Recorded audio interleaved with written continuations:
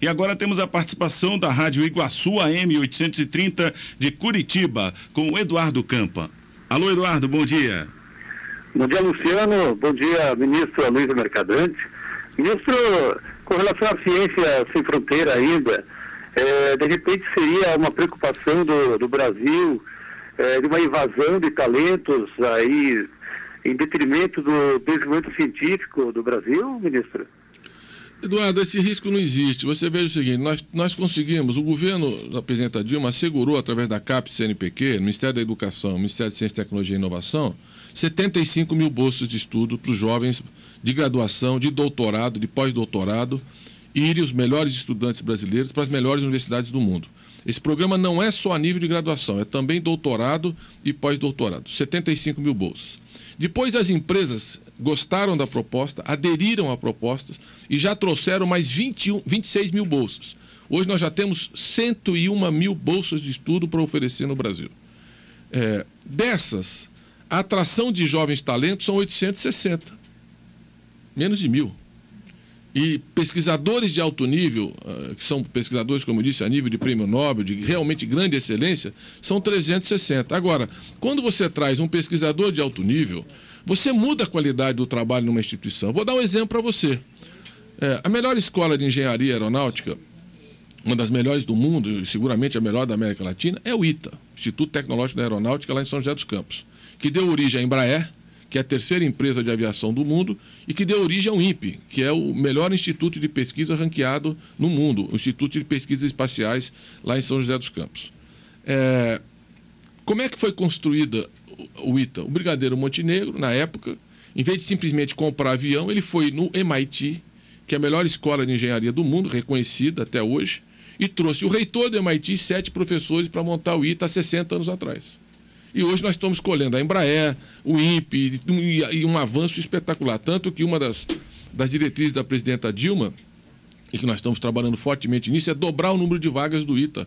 Porque esse ano nós tivemos 9.400 vestibulandos para 120 vagas. Há uma demanda muito forte. E nós conversamos com a direção do MIT para que o MIT participe dessa nova ampliação do ITA, desse novo desenho para novas áreas de engenharia como fez há 60 anos atrás. Então, quando a gente traz talentos de excelência, como aconteceu com o ITA, você dá um salto nos centros de pesquisa. É, foi assim, por exemplo, a USP, o Levi Strauss, que era um grande sociólogo, antropólogo, um homem das humanidades, teve um papel muito importante na construção da Universidade de São Paulo no, no início do, do século passado. Então, nós precisamos trabalhar, entender que, que, especialmente algumas áreas, como as áreas da matemática, da física, da química, da biologia, a ciência é global. As pessoas, eh, eh, os pesquisadores trabalham em rede, trabalham juntos e um contribui para a pesquisa do outro. Então o Brasil hoje está entrando nesse mundo. Né? Nós somos um país emergente, nós somos uma, uma economia que tem democracia, paz, sexta economia do mundo, com mercado interno dinâmico, com capacidade empreendedora, com uma agricultura que é a segunda mais importante do planeta, com uma indústria cada vez mais moderna, atuante, e nós precisamos fazer essas parcerias e atrair.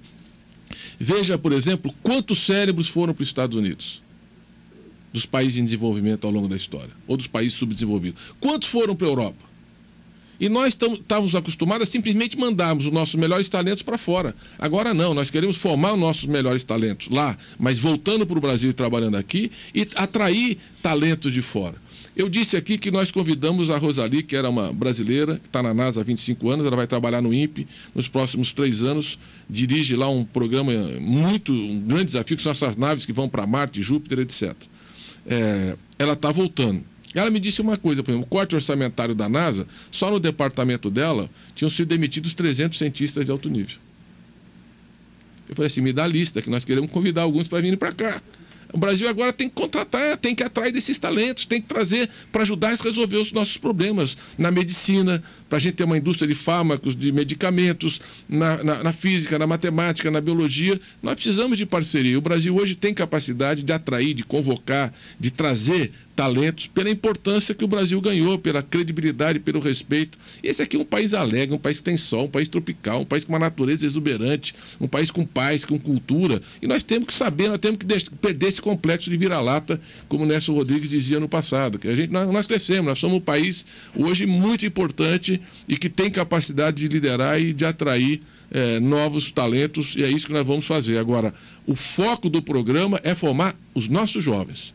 O que tem de melhor na universidade brasileira, os, os mais estudiosos, e eu tenho certeza que um programa como esse vai fazer com que os jovens estudem mais, para poder ter a oportunidade, porque agora não é só o filho do rico que vai estudar fora, porque o filho do rico já ia, tinha bolsa de estudo para estudar. O pai, é, mas era pai trocínio, era o pai que pagava. Agora não, é um programa público, um programa universal, um programa para todos os alunos que têm condições e pelo mérito, pelo seu desempenho, pelo seu esforço de ir estudar.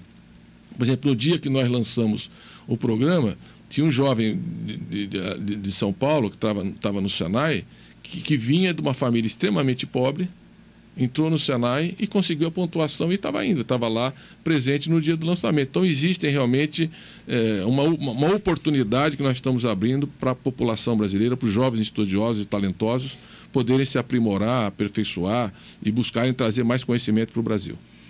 Eduardo Campa, da Rádio Iguaçu, mais alguma pergunta?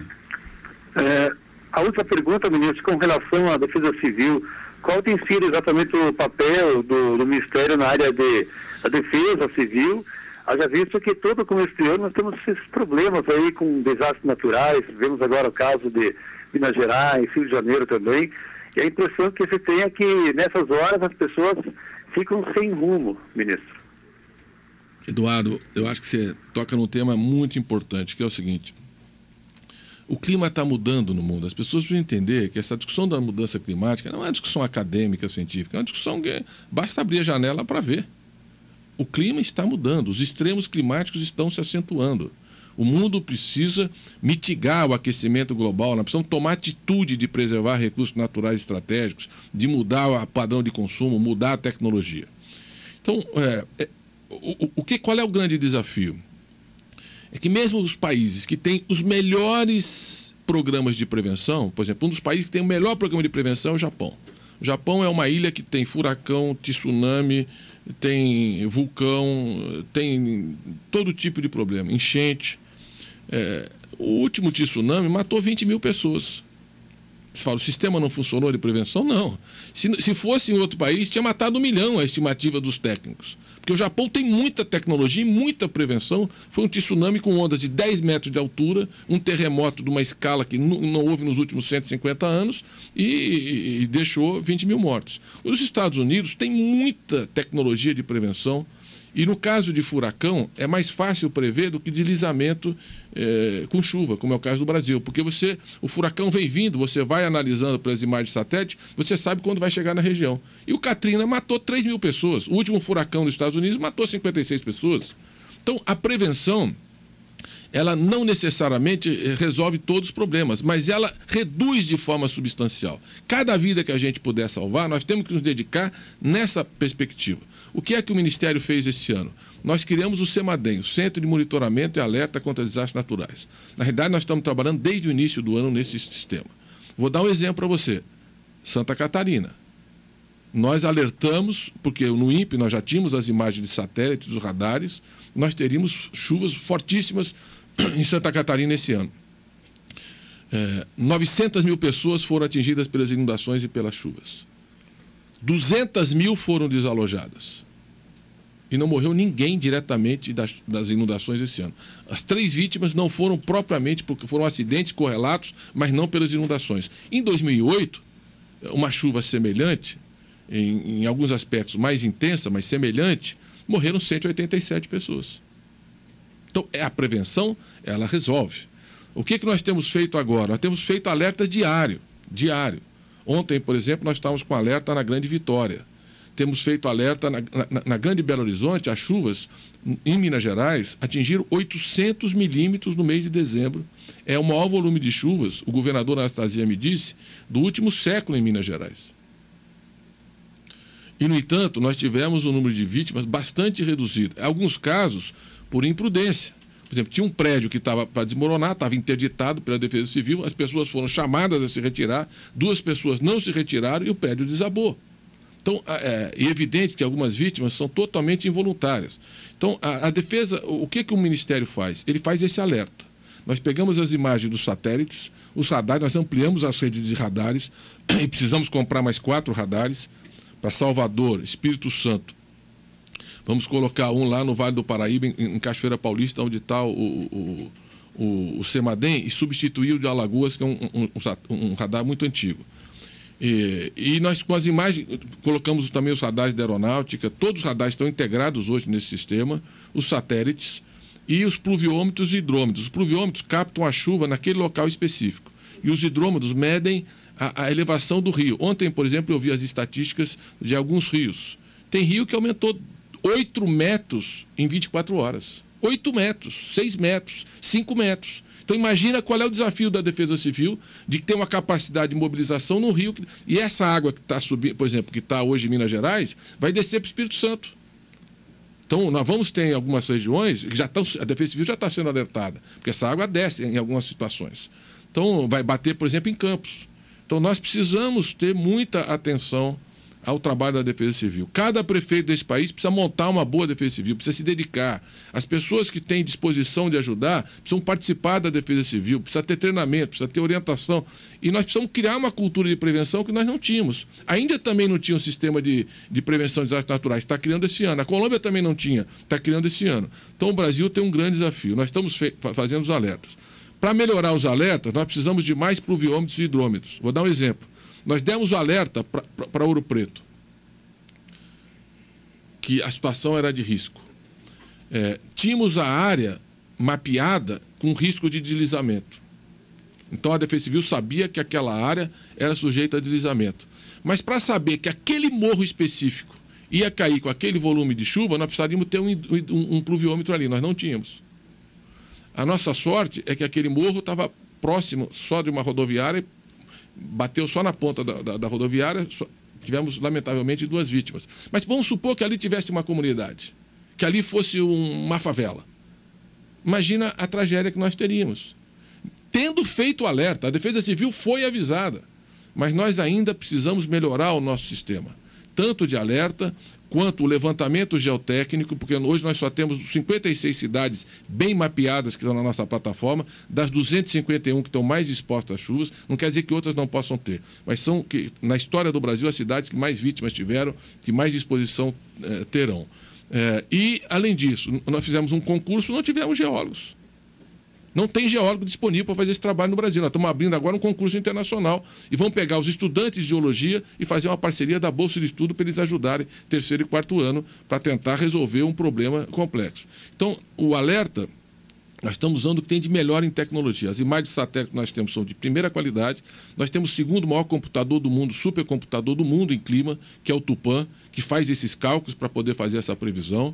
Temos uma experiência de longa data do CPTEC INPE, agora fortalecido com o CEMADEM. Contratamos profissionais de grande nível, hidrologia, desastres naturais, meteorologia, enfim, para trabalhar no sistema, mas temos ainda dificuldades na, na, área da geologia, o levantamento geotécnico, e falta recursos humanos no Brasil. Nós vamos abrir um concurso internacional e o trabalho da defesa civil, que é um trabalho fundamental. E, de outro lado, as obras de prevenção, que estão fundamentalmente no Ministério das Cidades, uma parte menor no Ministério da Integração, e os prefeitos, governadores, todos têm que trabalhar na mesma direção. Então, o Brasil precisa entender que nós precisamos criar uma cultura de prevenção. E nós esperamos, no futuro, inclusive, ter uma articulação melhor com a BERT, com as rádios, com o sistema de comunicação, para nos ajudar, para ajudar também na mobilização como acontece no caso de Furacão, Vulcão, de outros países, que o sistema de comunicação está integrado ao sistema de alerta e prevenção. Tem tido uma contribuição muito importante da, eh, da imprensa, eh, eles evidentemente ajudam muito nesse trabalho e o esforço que está sendo feito é muito grande. Em alguns casos, por exemplo, como o caso de Minas Gerais esse ano, tivemos o maior volume de, de chuvas do século, segundo o governador Anastasia, e realmente 800 milímetros no mês, eu acho que não há precedente na região.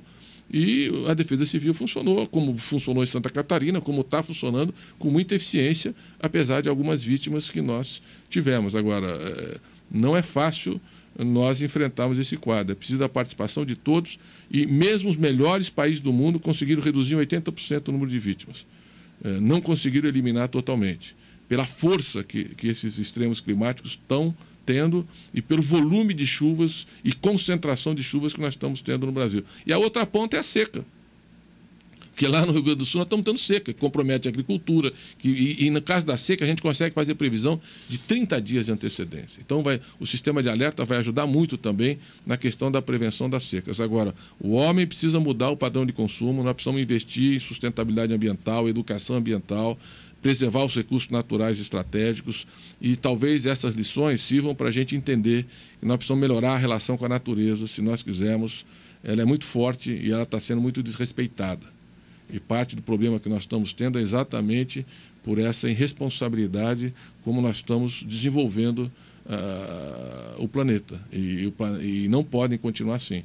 Então, não é simplesmente uma discussão acadêmica, tem a ver com a vida cotidiana das pessoas.